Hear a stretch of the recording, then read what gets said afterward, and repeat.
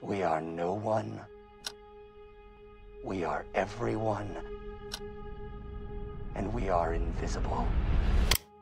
Tick tock, tick tock, tick tock, We convinced ourselves that they were gone. But they were just hibernating. tick tock, tick tock, tick tock. They came for everybody.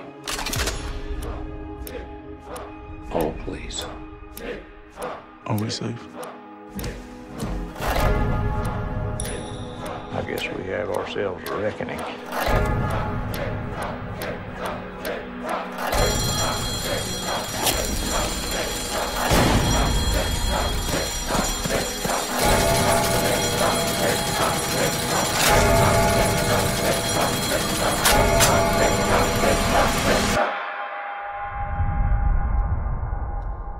What are you two talking about? Oh, nothing.